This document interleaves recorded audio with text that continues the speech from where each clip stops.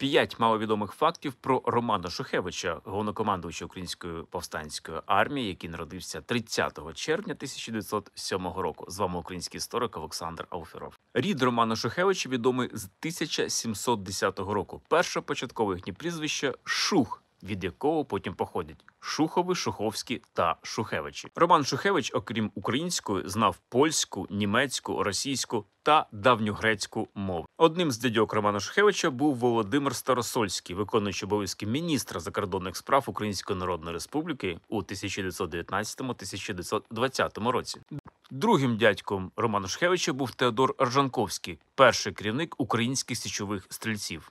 До війни Роман Шухевич був директором рекламної фірми Фама. Батьків Романа Шухевича знищила совєтська влада, відправивши їх у табори, де вони і загинули. Роман Шухевич справжнє літо української нації. А хтось говорить жукови, шмукови, ватутіни. Ось